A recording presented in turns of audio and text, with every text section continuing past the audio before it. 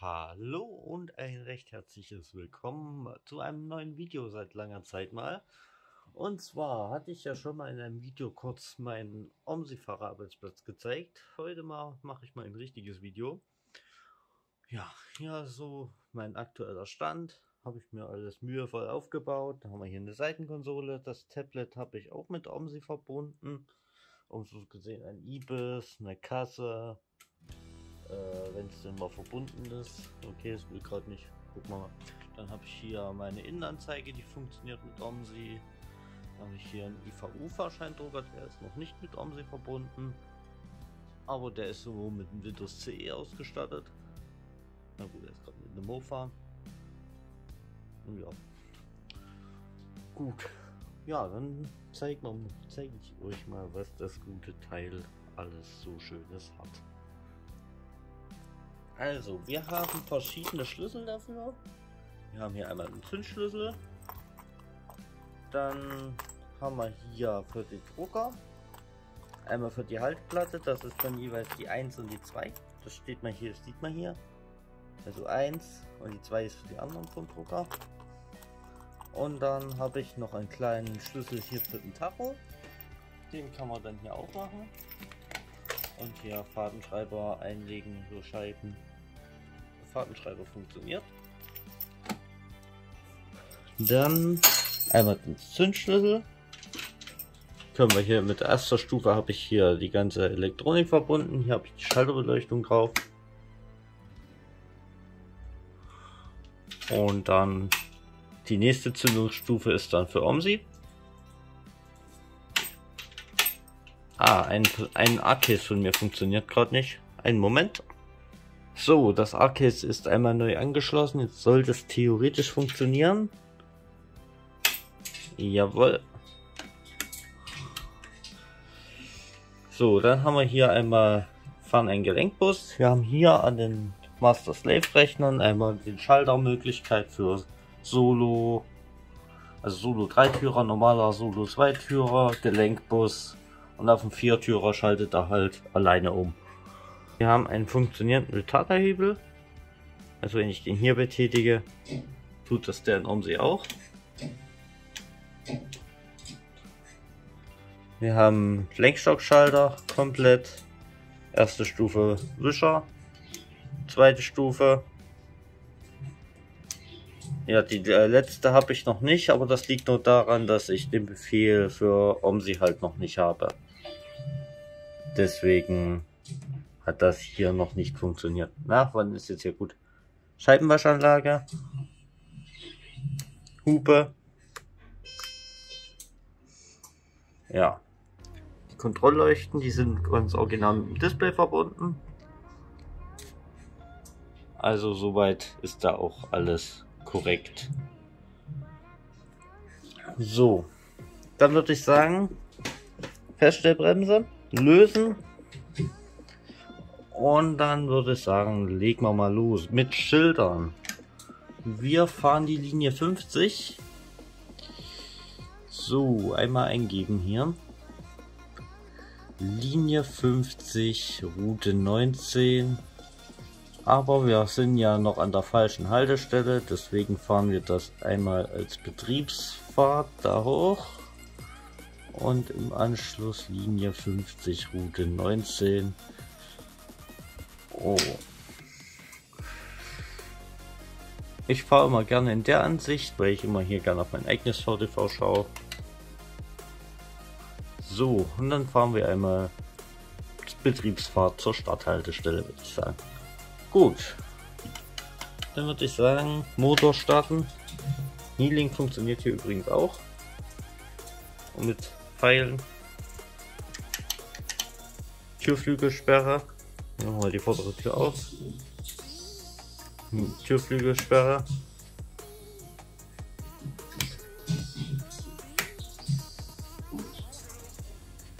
Ja, ich mache die Türflügelsperre jetzt erstmal aus.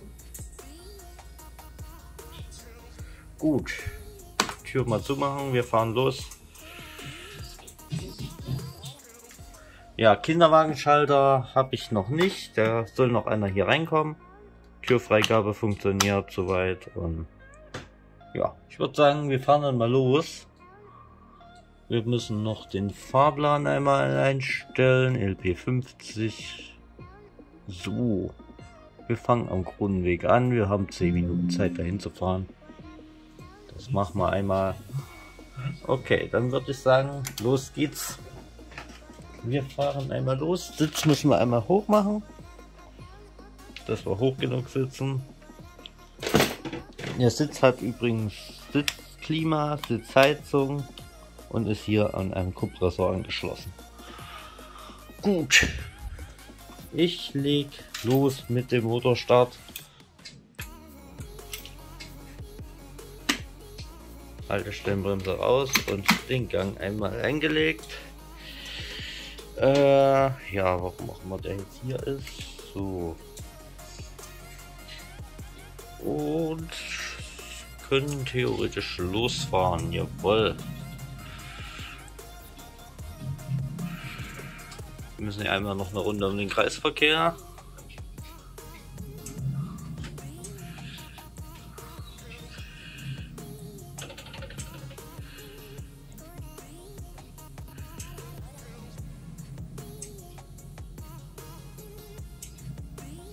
Ja, falls ihr auf jeden Fall noch Fragen habt zu irgendwelchen Pin-Belegungen, immer gerne schreiben. Ich versuche euch möglichst weiterzuhelfen, falls ihr auch so ein Projekt vorhabt oder wo, wo man es herbekommt oder einfach gerne fragen. Auf jeden Fall ein größeres Projekt von mir gewesen, was ich eigentlich auch gut zum Ende gebracht habe. Wenn man sieht, ich habe ja wirklich auf dem Display auch hier Retarder, ich habe eigentlich viel Not, äh, ne? Vorratsdruck, die Fehlermeldung, habe ich auch Nothand umgesetzt. Das kann ich euch ja gleich mal an der Stadthaltestelle zeigen. Ja. Ich würde sagen, wir fahren erstmal in Ruhe dahin. Wir fahren einen Facelift, Dreitürer, also als Gelenkbus. So, wir müssen einmal warten.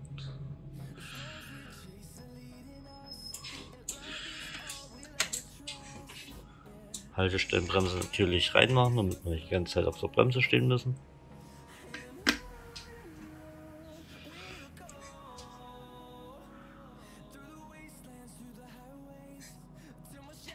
Dauert die Ampel drei Jahre. Jetzt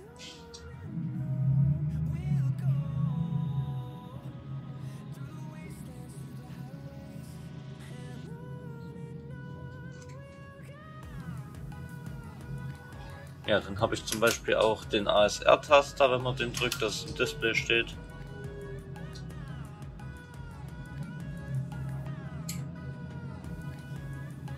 So.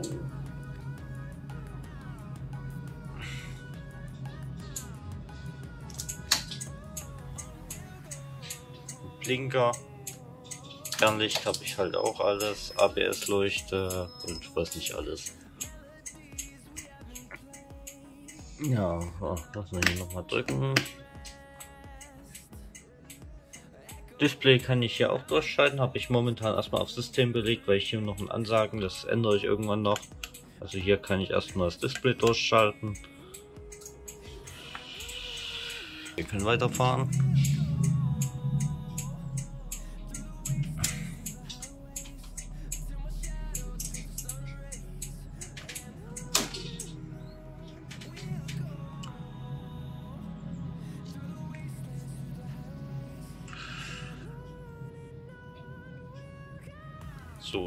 32-Zone. Ja, und der Tacho, der geht auch ganz genau. Also ich fahre eigentlich nur noch nach dem. Da habe ich den äh, innen drin, hat man in dem Tacho so kleine Schalter. Die stellt man entsprechend ein und danach habe ich den Rest noch mit dem USB-Isolator gemacht und in COMSI in der Software den Wert auf 400 gestellt. Bei diesem Tool, was in OMSI immer im Hintergrund aufgeht, wenn du COMSI installiert hast. So, hier stehen schon unsere Fahrgäste, die alle auf uns warten. Uh. Was habe ich denn jetzt mitgenommen? Ah, kann man wieder nicht richtig fahren, ey. Furchtbar. Geht der Blinker noch? seinen Blinker kaputt gemacht, ey. So eine Sauerei. Nicht mal richtig fahren kann ich. So, wir machen den Motor nochmal aus. Und ja, Schulfahrschalter funktioniert. Aus geht auch. Ja, und dann zeige ich euch nochmal das mit dem Notan. Wenn ich jetzt hier aufmache, dann zeigt uns unser Display theoretisch auch, wenn ich, achso, ich habe noch, wenn der Motor aus ist, macht er das nicht. Dann zeigt er hier zum Beispiel Notan, tätigt halt die ganze Zeit an. Bis ich den halt wieder ausmache. Ja. Ich mach mal auf hier. Könnt ihr rein.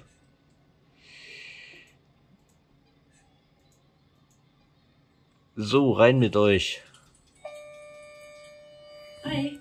Hallo. Hallo. Servus. Hallo. Mahlzeit. Ja. Wir fahren jetzt bis zur Regattabahn auf der Linie 50 auf Grefrath. Die Tür machen wir zu. Ja, wir sind jetzt aktuell am Kronenweg, wie man wunderschön auf meiner Innenanzeige lesen kann. Die aktualisiert sich natürlich auch jede Haltestelle, sprich wenn ich es weiterschalten würde, würden wir das dementsprechend dann auch da sehen. Die Anzeige funktioniert mit DS009. Da gibt es ein schönes kleines Tool, was man mit DS009 Innenanzeigen verbinden kann. Gut, ich würde sagen, ich setze euch jetzt mal in die äh, Perspektive, damit ich zwei Hände mit zwei Händen fahren kann. So, da sind wir wieder. Und ich würde sagen, wir legen los mit unserer wunderschönen Tour. Und wir fahren einmal los, Gang rein.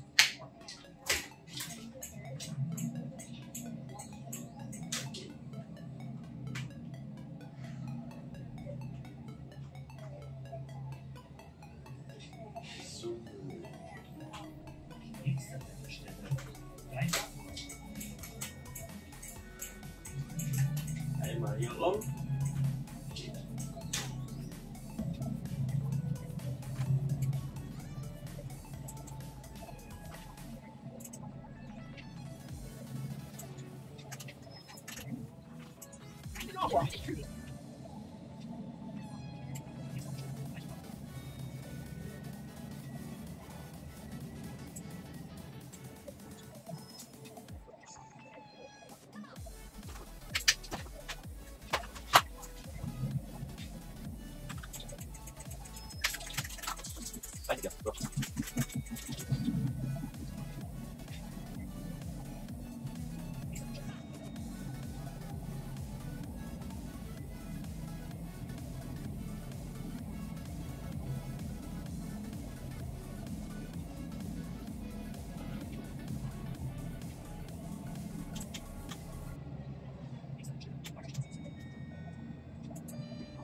Du manchst du rechts rein.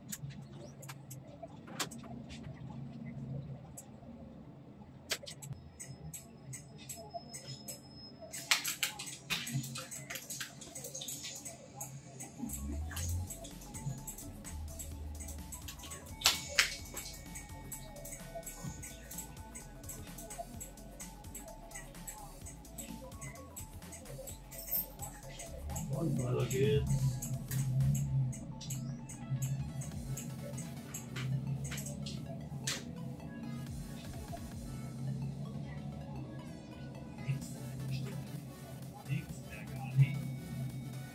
Ja, Leute. Falls ihr euch fragt, welcher Busbetrieb das ist, das ist der mein eigener Busbetrieb.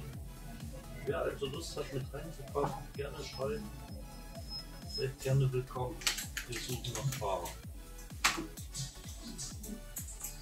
Dann machen wir was mit auf. So. Servus. Hallo. Hi. Guten Tag. Hi. Schönen guten Tag. Ein Ticket bitte. Einmal ein Ticket, bitteschön. Hallo. Ein Normalticket bitte. So, ein Normalticket raus. So, bitteschön. Ich jetzt Wechselgeld? Ja, fast so.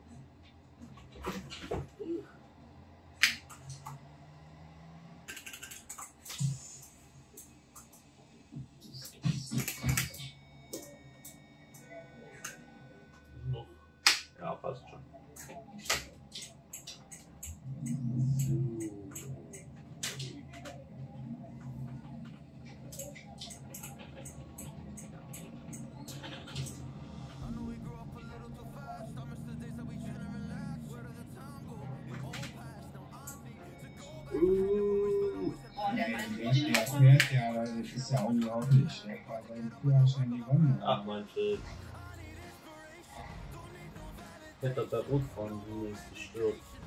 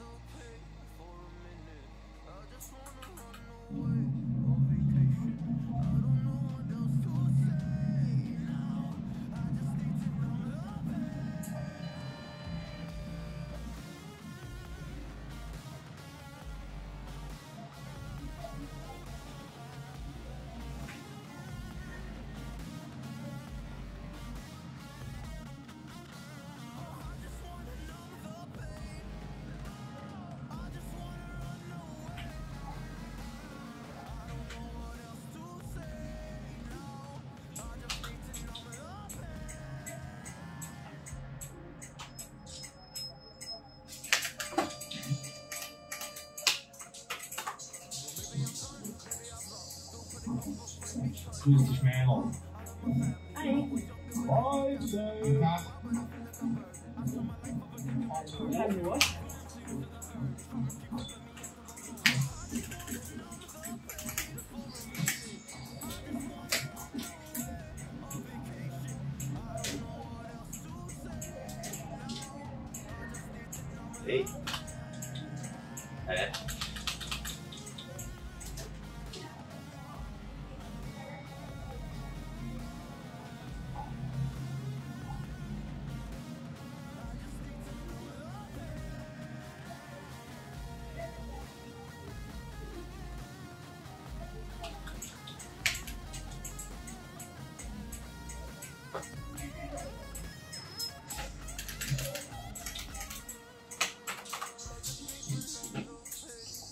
Servus.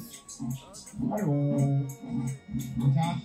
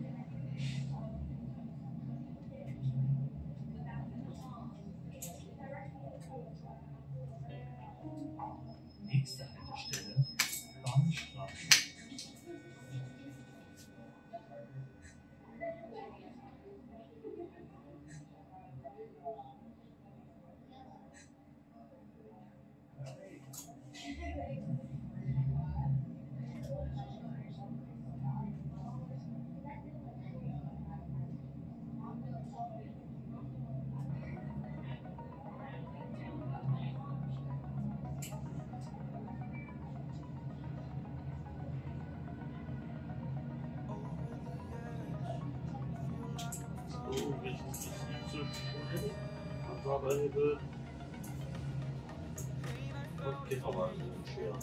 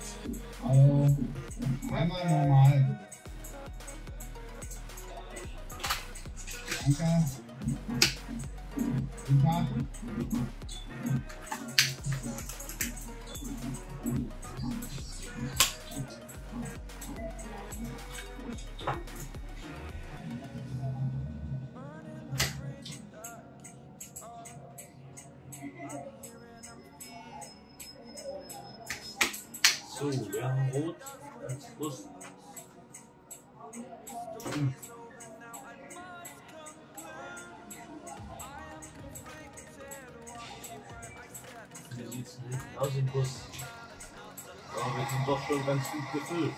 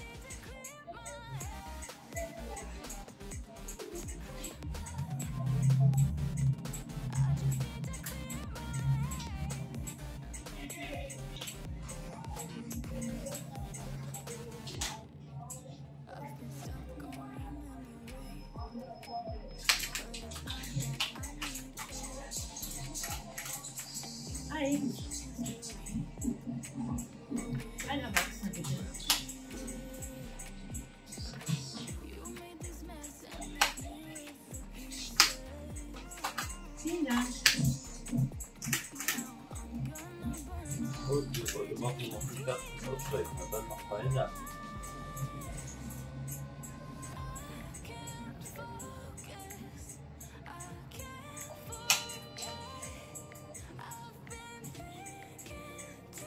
Acht auf da hinten mal mit aussteigen. Danke.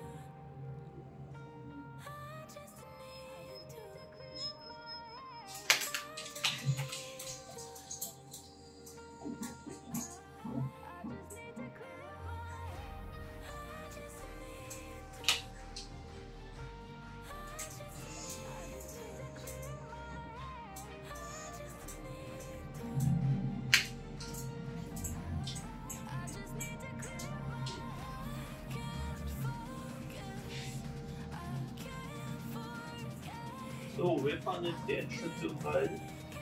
Nächste Wegachterbahn. So, Haltestelle. Bitte alle aussteigen.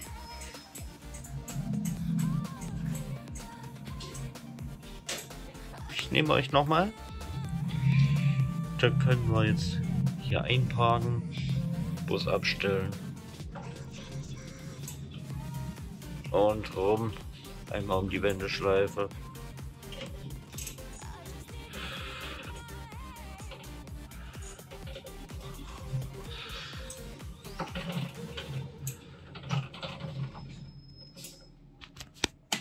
Gescheit stehen. Na, kommen wir noch ein Stück vor. So.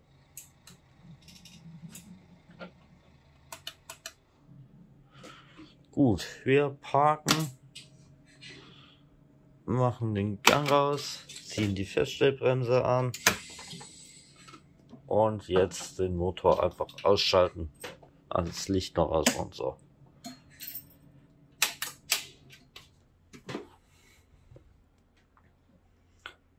Und wir schließen die Fahrt einmal ab. Du hast die Fahrt nicht korrekt beendet. Warum? Äh, okay, da müssen wir noch mal schauen. Was hier Problem war. Ach, ich muss noch mal zum Wedau Bahnhof. Äh, okay. Dann müssen wir noch mal los. Ich mache mal die Minimap an. Da müssen wir mal schauen. Ach so, und dann fahre ich noch mal zu Wedau. Okay, na gut zu wissen.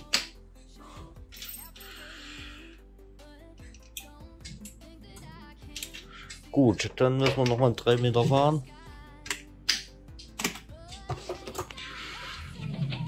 Da habe ich hier natürlich umsonst eingeparkt.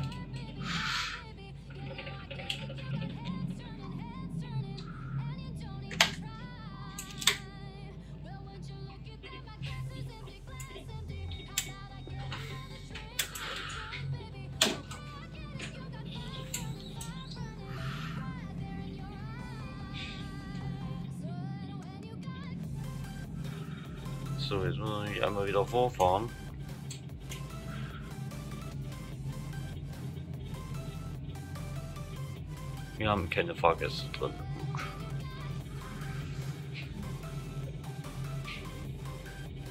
Oh, ich muss trotzdem in der Straßenmiete bleiben.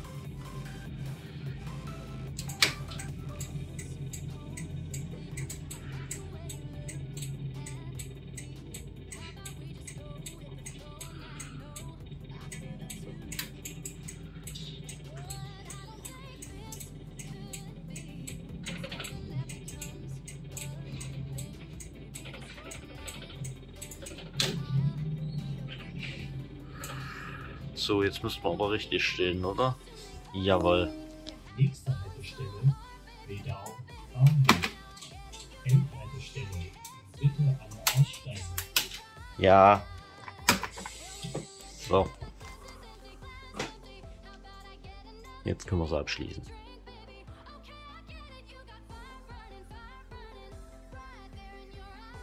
Zehn Haltestellen.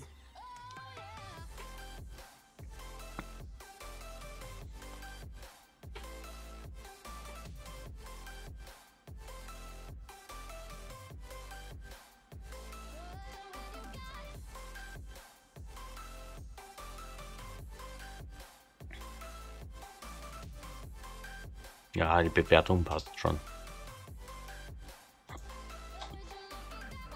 Gut, ich würde sagen, wir gehen ins Büro.